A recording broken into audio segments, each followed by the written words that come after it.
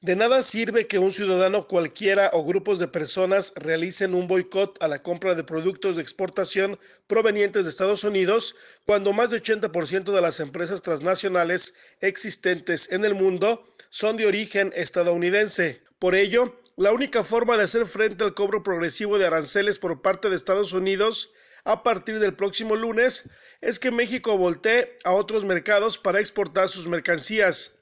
Ese aliado natural tiene que ser China, advirtió el profesor investigador del Centro Universitario de Ciencias Económico-Administrativas, Javier Orozco Alvarado. El cambio de mercado para las exportaciones mexicanas no rendirá frutos en el corto plazo, pero es una decisión que debe tomarse ahora. El economista dijo que habrá alza en los precios, pero sobre todo en Estados Unidos. Va a subir el precio de los autos, el precio de los alimentos, el precio de las de las materias primas, de los insumos para la industria automotriz, electrónica, de todo.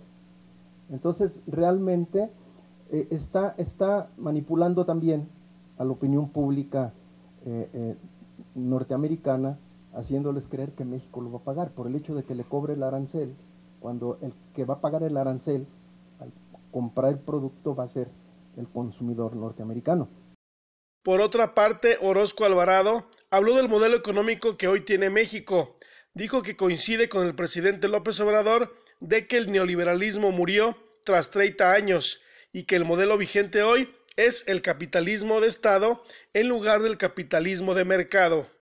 Esto es el fin de la política neoliberal y el inicio de un nuevo régimen con enfoque nacionalista y popular. ¿Por qué decimos que, que es el fin del neoliberalismo.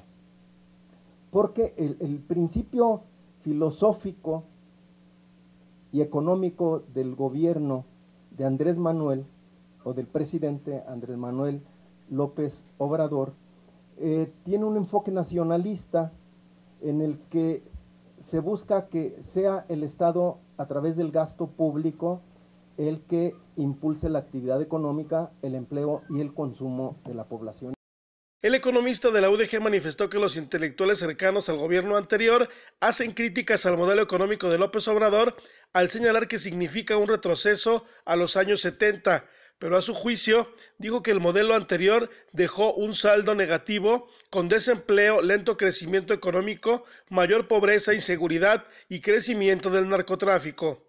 Con imágenes de Rubén Fraire, señal informativa Ignacio Pérez Vega.